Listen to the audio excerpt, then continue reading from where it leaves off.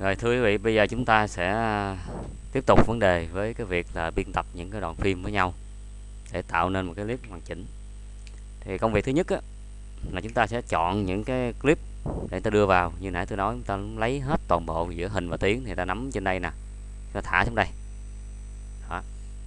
nếu như các bạn mà không thích như vậy các bạn muốn dùng phím tắt thì muốn dùng phím tắt mà phải dùng cái con chỏ này mới được nè. khi bạn nắm bằng thả vậy thì thả chỗ nào cũng được hết tùy thích nha nhưng mà chúng ta dùng phím tắt thì không thể như vậy được. Dùng phím tắt thì nó hơi hơi cá biệt hơn chút. Là con chỏ nằm đâu nó sẽ tính từ vị trí con chỏ. Giả sử chỏ đặt đây nha. Thì ở đây gọi là sau con chỏ, đây là gọi là trước con chỏ. Thì mình đặt để này rồi nha, mình để đây nha, mà không đưa xuống đây.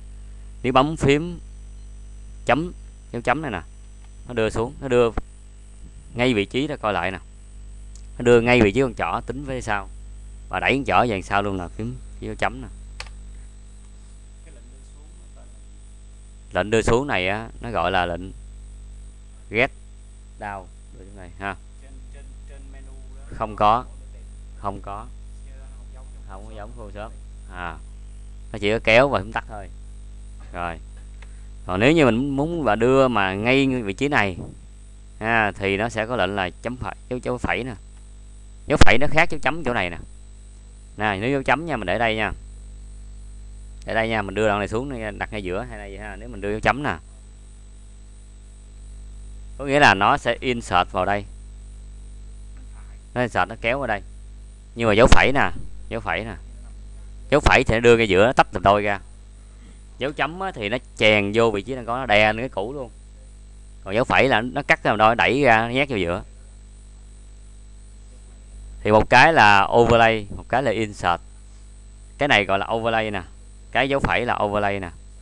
Đè lên đẩy ra overlay. Còn cái này gọi là insert nè dấu chấm là insert. Hai cái niệm khác nhau nha. Ờ đúng rồi. Thì do cái phím tắt là như vậy đó nhưng mà mà con chuột kéo thì nó lại khác. Chuột kéo thì nghĩa nó sẽ khác. Thì tôi nói vậy nghe thứ nhất là mình có cách đưa xuống cái này timeline là vậy đó nha. Mình nắm đây mình thảy thảy chỗ nào cũng được hết. Nhưng mà phím tắt thì nó khác thì động tác mình kéo vậy là kéo nguyên cái gọi là hình và tiếng. Đó, hình và tiếng. Nhưng nếu như chúng ta muốn đưa hình mà không lấy tiếng thì chọn đây nè, nắm thảy đây nè, thì chỉ có hình mà không có tiếng nè. Và nếu mà lấy tiếng không lấy hình nè, thì nắm chỗ này nè, kéo đây thì lấy tiếng không lấy hình. Ok. Và khi mình nắm hình tiếng thả đây á, thì hình và tiếng mình khi di chuyển, nó kéo thành một cục. Khi chọn nó dính cả hai chứ không nó không có, nó không có tách rời được. Muốn tách rời nó muốn tách rời nó nha, thì tôi sẵn tôi nói luôn á, tách rời nó thì hãy chọn vào đây. Nhấn phải chuột. Anh lên nó ra, thì hình và tiếng nó sẽ bị cắt ra làm đôi. Lúc đó mình có thể làm gì đó, làm chọn thì mỗi cái đối tượng nó rời ra khác nhau kéo nó đi riêng cái đó là khái niệm ta phải hiểu thêm về vấn đề là biên tập phim nó có những cái động tác như vậy đó. Ok. Rồi, trên đây là thay vì mình kéo con chuột này mình đi á, để mình di chuyển nha. Tôi lấy clip thứ hai đi thầy kéo chuột đi di chuyển vậy đó thì đôi khi á, mình làm cần sự chính xác cao. Ví dụ như mình dựng một video clip ca nhạc chẳng hạn thì mình lấy từng cái chữ một. Thì không thể truy cập như vậy được nên mình phải cần cái động tác để mình coi từ từ từ từ từ. Thì muốn coi từ từ từ để mà chọn lọc cho đúng á thì bấm nút này nè nút play nè play nè nhấn đây cũng được nè. Play nè ha còn phím spacebar nè play nè. Đó phím này là dừng nè thì mình canh từ từ nè. À, dừng nè. Muốn tua nhanh hơn gấp đôi. Muốn tua nhanh gấp đôi nha. Thì mình để ở đây bấm nút play về. Muốn tua nhanh bấm chữ L một lần nè gấp đôi nè. L lần nữa gấp 4 nè. L nữa gấp 8 nè. Nó chỉ có 2 4 8 đây là ít tính theo ít. 2 ít 4 ít 8 ít. Thì mình mình coi cho nó nhanh đó mà. Nè về một nè hai nè 4, dừng. Cái hàng dài nhưng đôi khi mình muốn tua ngược lại thì bấm nút gì? Nút G G nè, ngược lại nè, một, nè đó, dừng. G một cái tua một x G một cái tua 2x G một cái tua 4x không. Cho nên nó thẳng ra đó là chương trình dựng phim á, thì phần lớn là nó nó xài phím không à. Đúng ra dân chuyên nghiệp á, cái phím này nè, nó có bàn phím riêng luôn. Bàn phím riêng nó có cái hình thù y như cái nút này luôn nè nhưng mà cái bàn phím đó giờ các bạn có thể mua được. Ví dụ bạn ra ngoài bạn chỗ vừa bán bán ờ, mấy cái đồ dựng phim á và nó bán tôi cái bàn phím của Premiere C6 chẳng hạn. Nó bán bàn phím Premiere C6 bàn phím tới 100 đô. Nó chẳng khác gì bàn phím này á. Nó chỉ có duy nhất là nó vẽ thêm mấy nút thôi. Thì về mình tự mình in vẽ cũng được. Nếu mà bạn cần mà lên mạng á, bạn vô trong cái ờ, Google bạn search lên bạn để là à, Premiere C6 keyboard nó hiện nguyên cái hình bàn phím rồi copy đó về dán cắt lên dán. Lên đây đỡ tốn trăm đô. Không có đó là tôi chỉ về cách làm mà kiểu nhà nghèo á. Hầu như là chúng ta có tiền ta ra mua một cái gắn vô là xong. Không, nó sẽ thành ra nhìn nhìn trên bàn phím là biết mấy cái lệnh của Premiere hết khỏi cần phải nhưng mà mình không biết phải biết học thôi. Nhớ thôi. Rồi thì bây giờ chúng ta biết một số cái như vậy á. Nhưng giờ cái này hay hơn nè. Mình muốn tuyển từng frame một bấm mũi tên tới lui nè.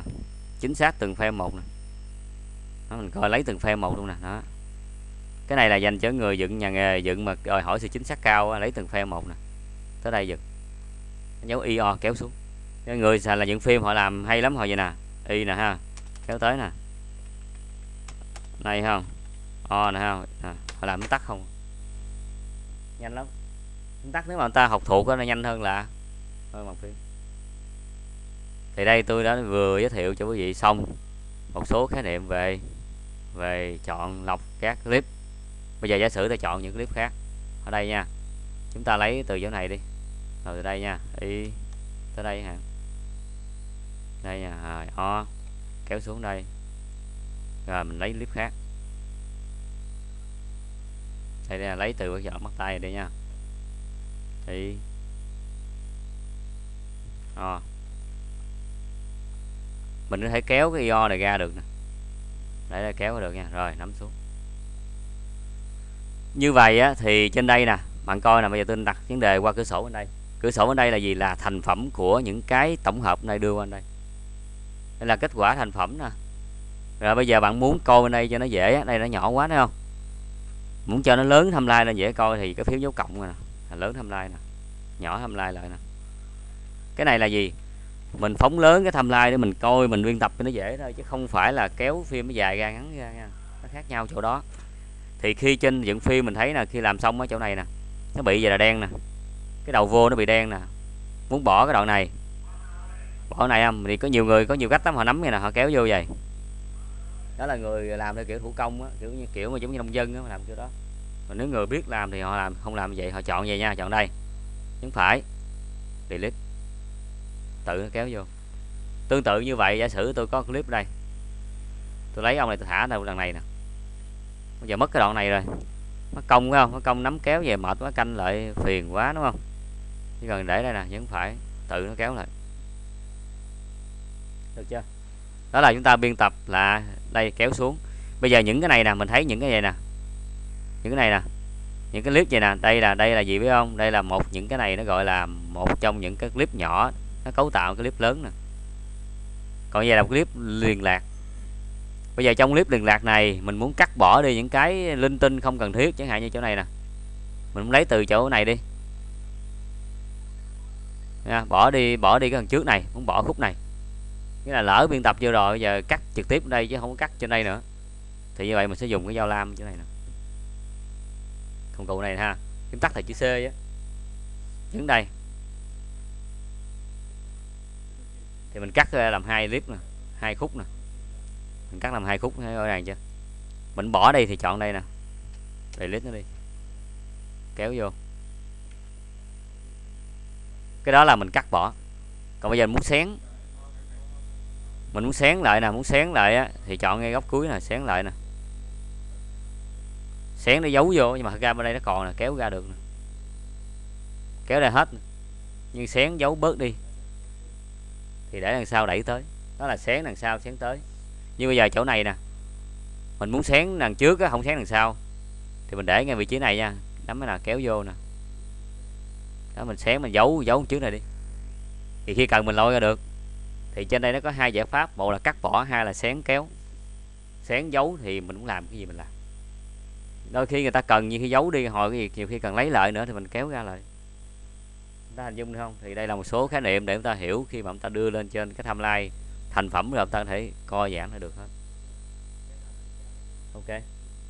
Đó, thì động tác vừa rồi tôi đang giới thiệu cho quý vị một cái khái niệm nó gọi là chúng ta biên tập những cái đoạn clip rời rạc vô cấu thành lại thành một cái clip lớn hơn trên Premiere này, động tác này thì hầu như những người làm phim nào cũng phải làm hết. Xếp trước, xếp sau, thậm chí có thể đổi nè thể đổi vị trí cho nhau được, ví dụ chỗ này đi. Tôi lôi này ra, tôi đổi cái ông này nè. Ra sao được không? Được, ông kia lên đầu. Thì giờ khi mình quay này trước, quay kia sau mình thay đổi tới đâu lui được nè. Được hết. Thể sắp đặt. Lộn tung phèo hết. Thì biên tập là vậy đó mà. Rồi cần cho Z trả lại nè. Thì cái bài thứ ba này thì tôi vừa hướng dẫn cho quý vị thêm cái khái niệm gọi là các công việc là biên tập cắt shot đưa vào timeline dựng những cái clip rất là đơn giản.